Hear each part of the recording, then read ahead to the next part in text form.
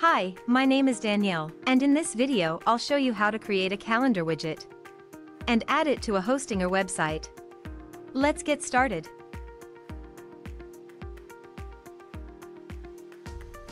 The calendar widget is a great addition to any website.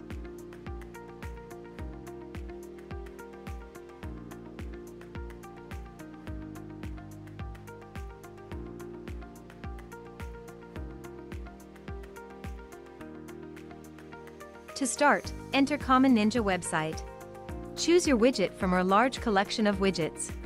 And once you've entered the widget page, click on the Create button to enter the calendar editor. Here, in the editor, you can add and edit events.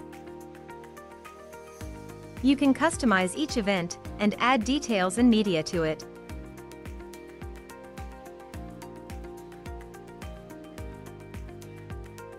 You can select from different calendar skins. If you wish, you can further customize the calendar's look and feel. You can edit the calendar settings.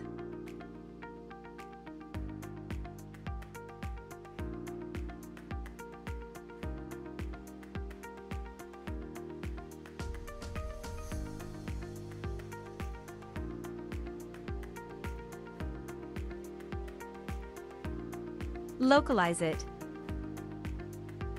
and integrate external platforms and services. When you're done, click the Save Changes button to save your work.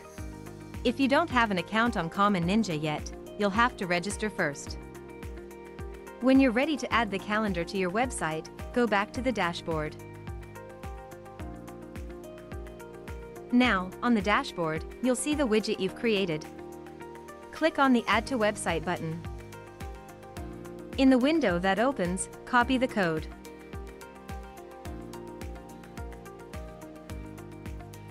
And close the window. Remember, you can always return to the widget and keep on editing it. Now let's head to the Hostinger website editor.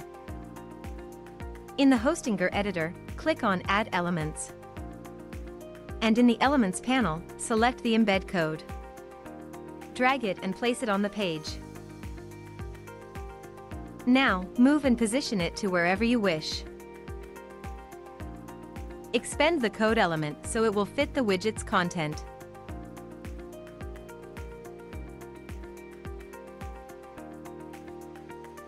Now, click the Enter Code button. And simply add the widget code you've copied before. Click on the Embed Code button to apply the changes. And that's it.